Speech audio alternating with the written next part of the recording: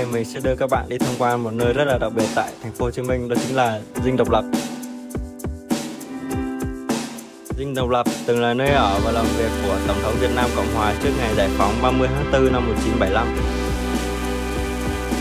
Hiện nay, Dinh đã được nhà nước xếp hạng là di tích quốc gia đặc biệt. Dinh Độc Lập hiện nay được Ngô Đình Diệm cho khởi công xây dựng vào ngày 1 tháng 7 năm 1962. 10 giờ 45 phút ngày 30 tháng 4 năm 1975, xe tăng T-54B mang số hiệu 843 của Quân đội Nhân dân Việt Nam dưới quyền chỉ huy của Trung úy Bùi Quang Thận đã hông nghiêng cổng vụ của Dinh Độc Lập. Tiếp đó, xe tăng 259 mang số hiệu 390 do Vũ Đăng Toàn chỉ huy đã hút tung cổng chính trên thẳng vào Dinh 11 giờ 30 phút cùng ngày, Trung úy quân giải phóng Bùi Quang Thận, đại đội trưởng chỉ huy xe 843 đã hạ vũ khí Việt Nam Cộng Hòa trên Nam Dinh xuống và kéo lá cờ mặt trận dân tộc giải phóng miền Nam Việt Nam lên. Kết thúc 20 năm cuộc kháng chiến chống Mỹ thống nhất đất nước,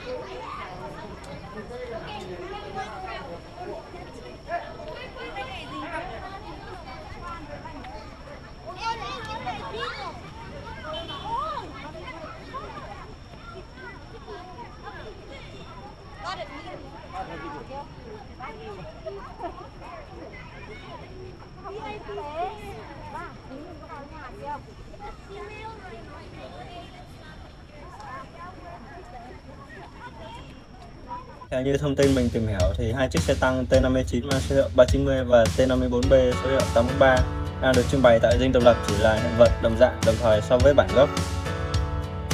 Trong chiến tranh chống Mỹ, hai xe này thuộc biên chế đại đội 4 tiểu đoàn 1 lữ đoàn xe tăng 203 quân đoàn 2.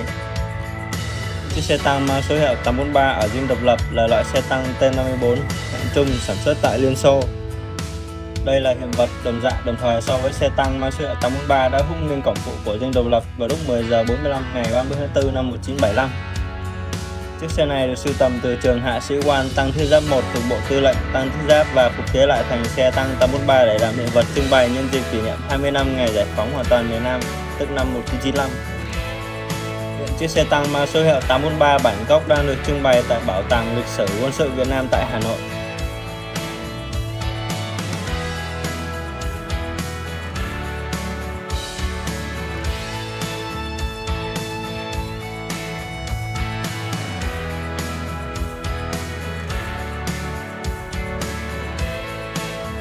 Chiếc xe tăng 390 là xe hạng trung sản xuất tại Trung Quốc.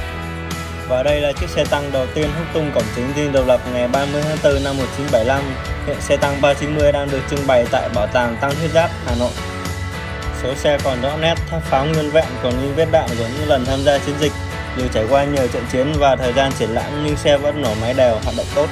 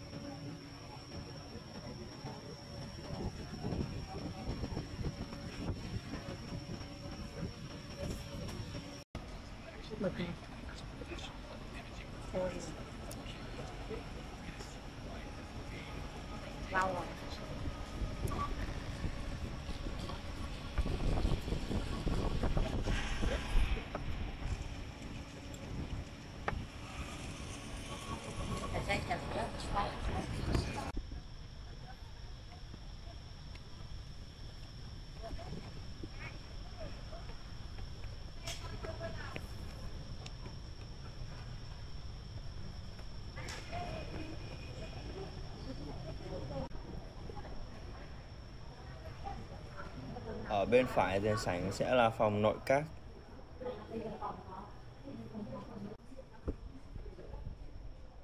Đây là nơi diễn ra các cuộc họp của Hội đồng Tổng trưởng và Nội các Việt Nam Cộng Hòa.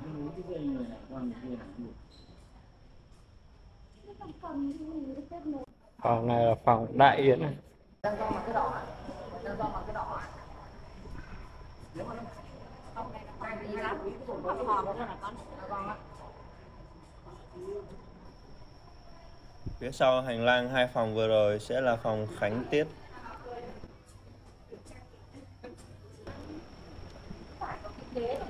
phải gấm ngày xưa người ta nhật tức là cái hoa văn của cái này này hoa văn của nó, cái hoa văn đẹp quá, hoa văn của cái cái bọc ghế ấy.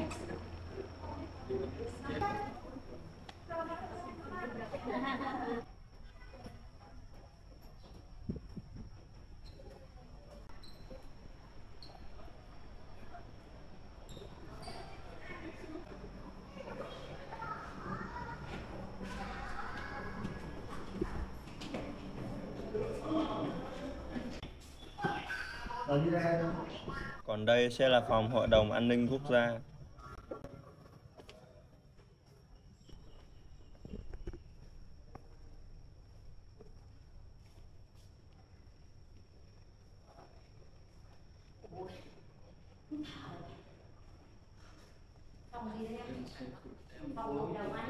Chỗ này là phòng làm việc của Tổng thống. sinh năm 23 ông sinh năm 23 này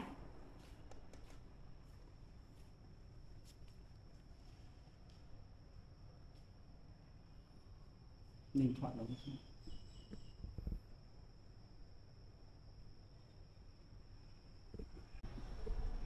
Chỗ này là phòng khách của Tổng thống.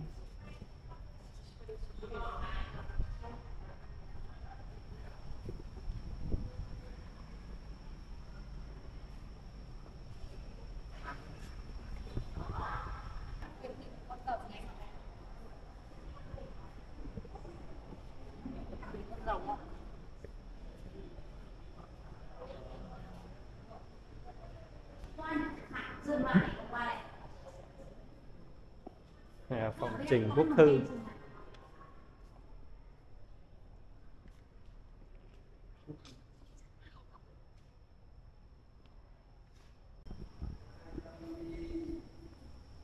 Ngoài này là khu gia đình của Tổng thống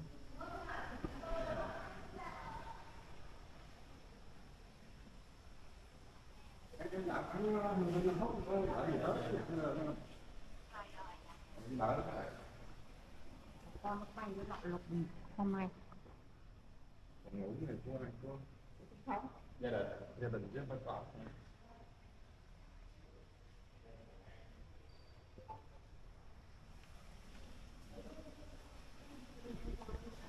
Đây là phòng ăn của ờ, tập thống ngày xưa.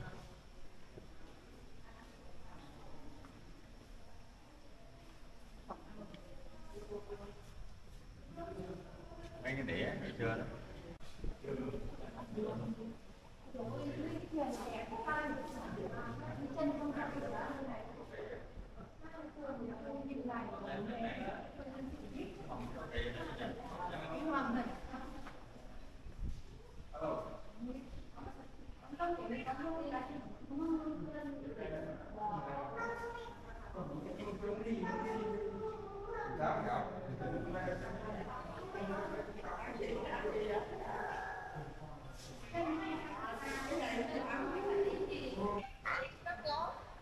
Go,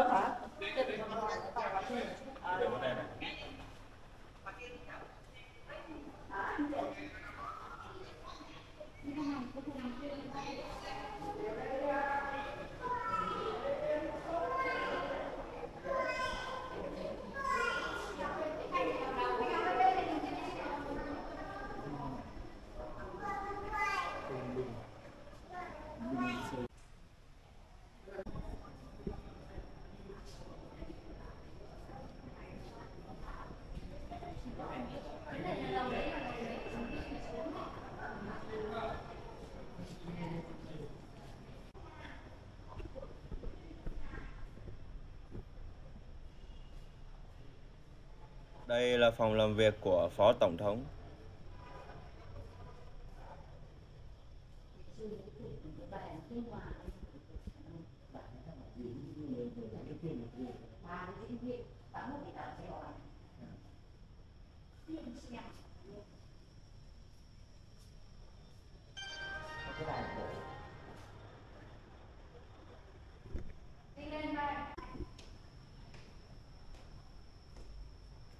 Em đi như này này em đã dùng chân này này.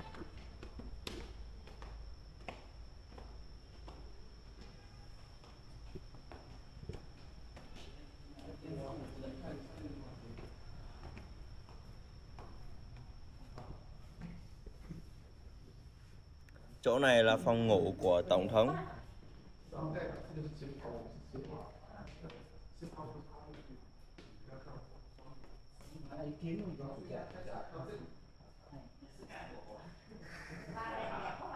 Ý kiến đi cho nó khỏi hư hại cái này này.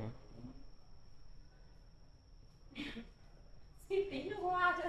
Đẹp quá cái ngày xưa cái ngày xưa đã phục sẽ phải ha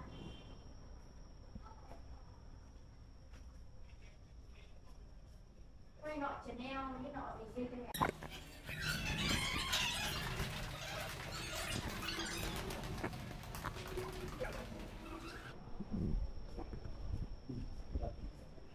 Chỗ này là sân đáp trực thăng mà. Đứng ờ ừ, trực thăng nó mới sẽ như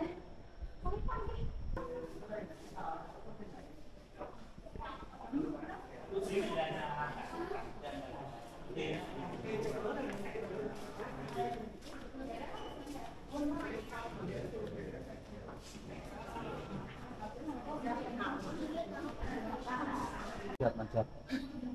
Ở mặt cao ấy chơi bằng thẻ bài ấy. Ừ, ngày xưa chơi ở là chim khu này giải trí bóng bàn các thứ. Phòng nào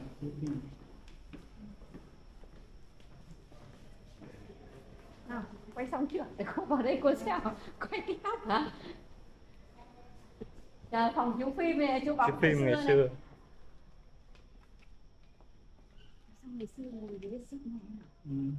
tổng thống mà đây là phòng khách của phu nhân Tổng thống. Hiểu chưa? Tổng thống phu nhân. có bạn bè đến chơi tiếp ở đây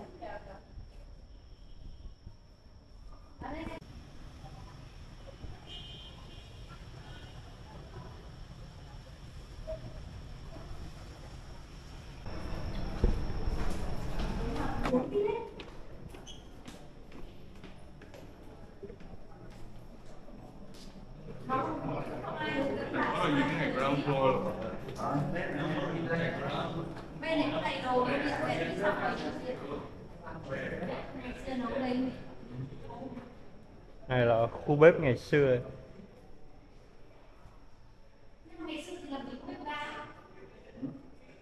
Có không có? Thời nào ở bếp ga này là bếp ga ngày xưa?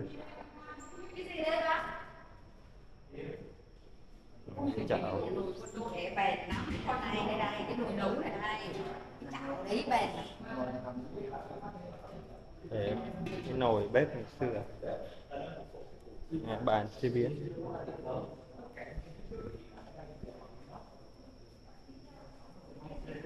Bếp.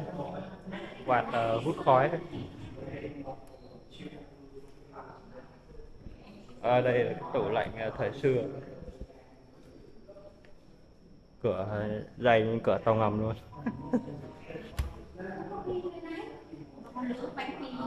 À, lò nướng bằng điện này nó có ghi đây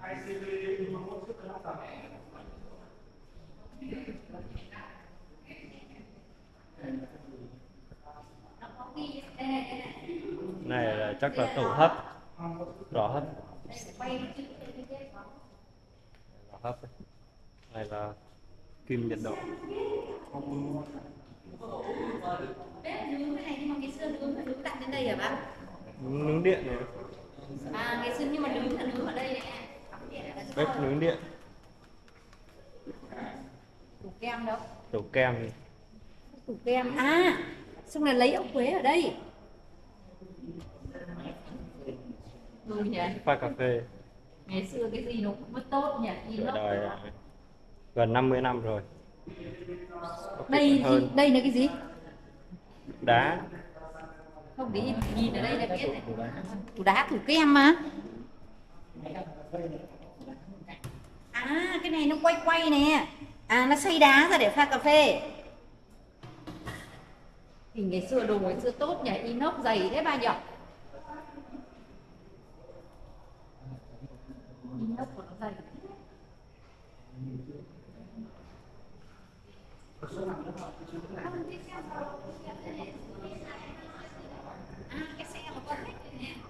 Ồ đây chiếc xe jeep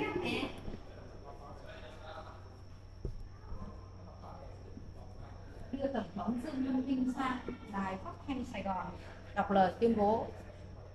Đầu hàng vô điều kiện chính quyền cách mạng trương ngày 30 tháng 4 năm 75 à.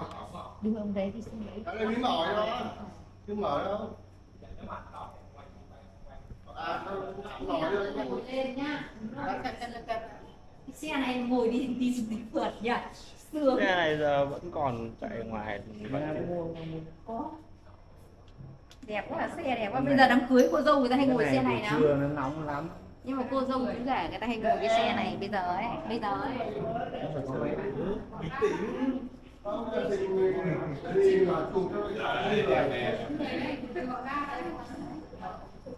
Sợ má chụp cái xe này nó ngỏ giống nhau chứ.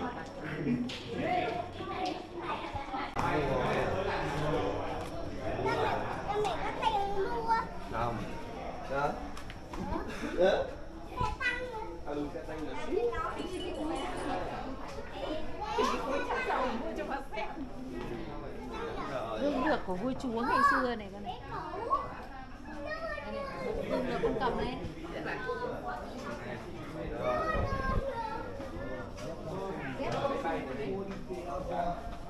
Con làm giỏi chưa này?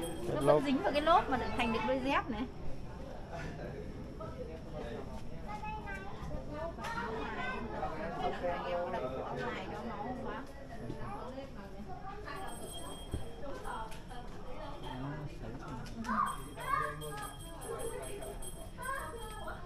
con mua áo mặc làm kỷ niệm không? 340 nghìn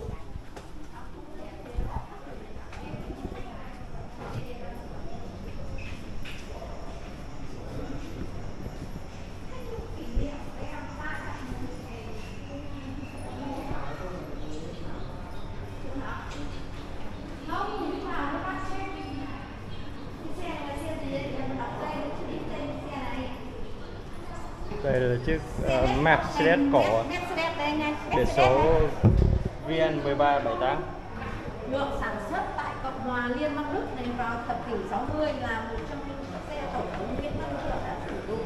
Đây là chiến lợi phẩm của trung đoàn 48 sư đoàn 39 tí nó về con phải đọc cái này.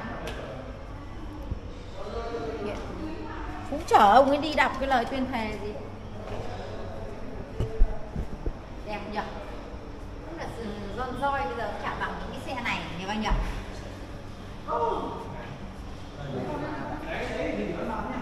Mercedes sản xuất năm 60 tại Cộng hòa Liên bang Đức. Nó thiệu thường sử dụng cái này. Không không không nặng không nghỉ đâu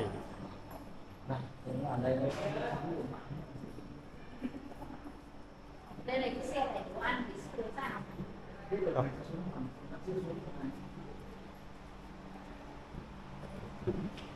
chụp đâu vào đây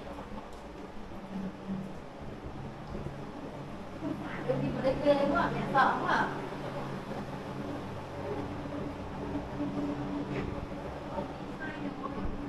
Vào đây đi vào nha Con đi thế nào không phải chỗ này đâu cứ đi đi ra đi ra đây Nó bỏ khí vào sát trong này.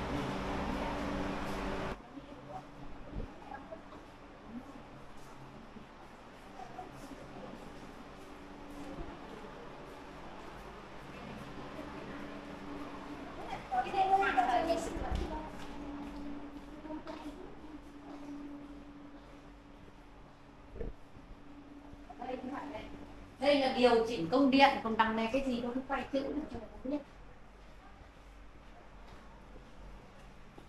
đây là cái gì? Đấy, nó đi được cái đi. à đây là loa âm ly ngày xưa.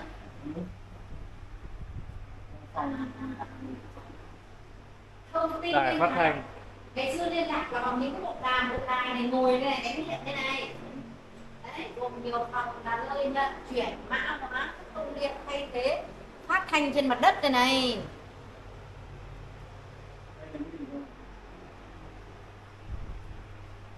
Đấy ngày xưa liên lạc phải dùng cái máy này này anh hiểu chưa? Ờ, hàng gì đây này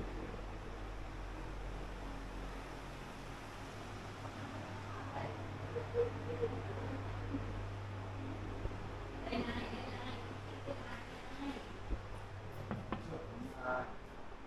Trưởng quán truyền tin. đây này cái này là cái gì ngày xưa nó phản phản đây này Nó- nó- nó- nó- Chết đi. Trưởng quán truyền tin. đâu Đây. trưởng toán thế à cái phòng này là truyền tin đi lên khác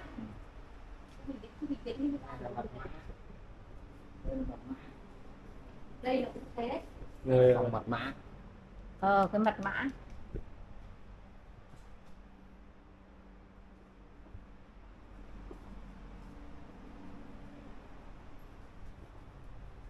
bây giờ đây này. Cái gì đấy? Nó không ghi tên. Sao đọc?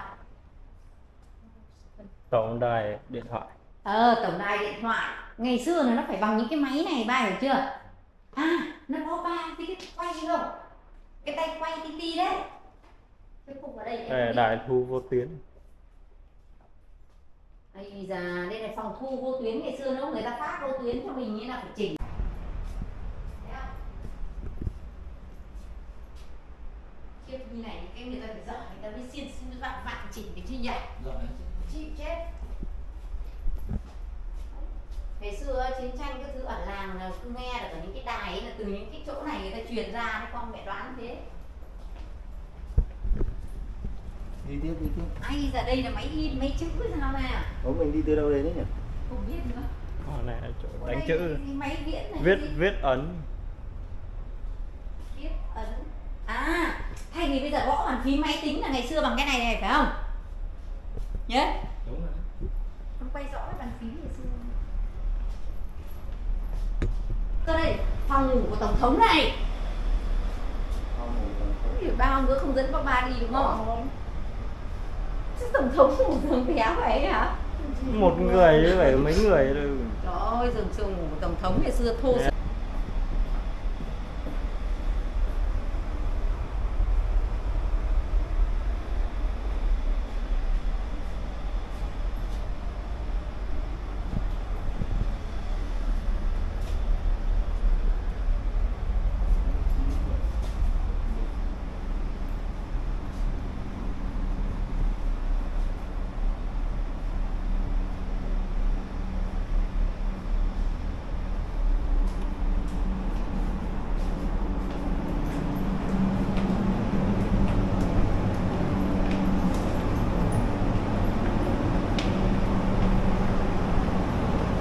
cái này ngày xưa nó là khỏi sắt bê tông.